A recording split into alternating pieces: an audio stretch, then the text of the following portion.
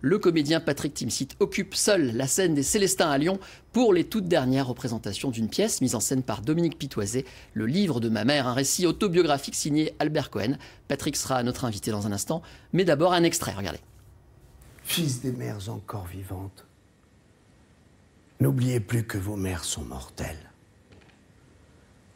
Je n'aurais pas écrit tout ça en vain si l'un de vous ce soir, après avoir écouté mon chant de mort, est plus doux avec sa mère. Soyez doux chaque jour avec votre mère. Aimez-la mieux que je n'ai su aimer ma mère. Ces paroles que je vous adresse, fils des mères encore vivantes, sont les seules condoléances qu'à moi-même je puisse m'offrir. Pendant qu'il est temps fils, pendant qu'elle est encore là, hâtez-vous. Car bientôt l'immobilité sera sur sa face. Imperceptiblement souriante, virginalement. Bonsoir Patrick. Bonsoir. Ça fait, euh, si j'ai bien compris, 30 ans que ce texte vous l'accompagne. Enfin, il vous accompagne. Oui. Quelle pression ça a dû être pour le mettre en scène une fois pour toutes? Eh bien, écoutez, quand j'ai décidé, il n'y avait plus de pression. La pression, c'était avant, c'était pendant les, les 30 ans. Puis après, ce, ce, rendez-vous, euh, voilà, il fallait une échéance, il fallait des rencontres aussi. Et j'ai encore ma maman, qui a 90 ans.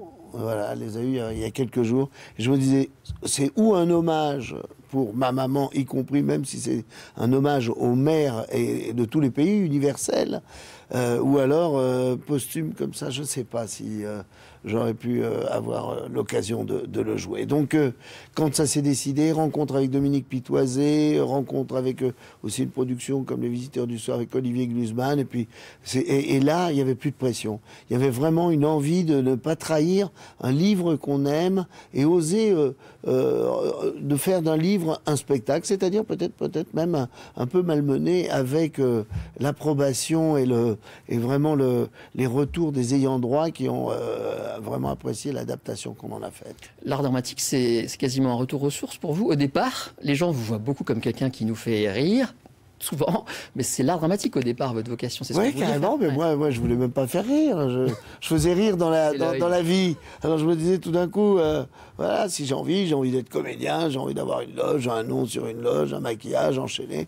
Et puis finalement, c'est, après avoir fait Inconnu à cette adresse avec Thierry Lhermitte, les derniers jours de Stéphane Zweig, euh, ça m'a donné le- la- la- bah, peut-être la possibilité de croire que j'avais a- a- acquis une maturité qui me permettait d'aborder un texte euh, avec simplicité, justement arriver dans le non-jeu.